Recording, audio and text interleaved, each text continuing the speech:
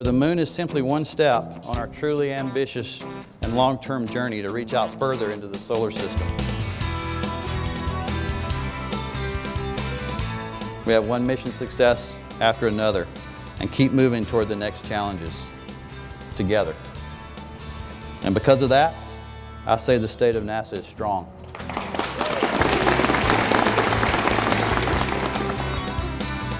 Our investments in technology lay that groundwork that we need for future human and robotic missions.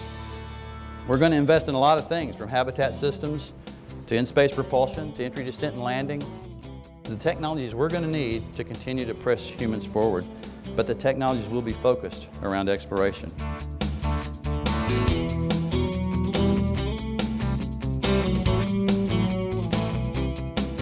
This will give us a strategic presence in that lunar vicinity, and it'll drive our activity with commercial and international partners and help us further explore that moon and its resources.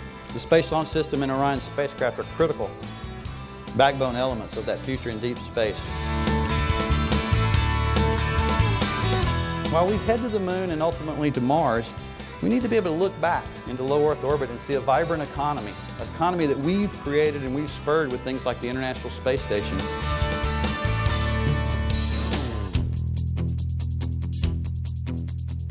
What we do is generational and aspirational.